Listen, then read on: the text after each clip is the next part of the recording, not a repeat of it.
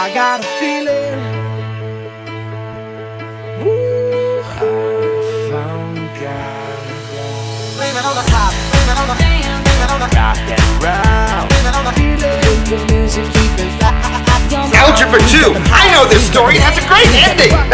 oh, numbers and letters together in the same sentence? Uh, I'll make it work, and I'll take you down, students. Math is my subject.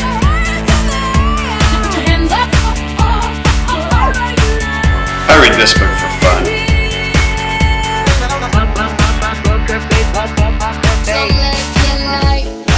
Let's live it up.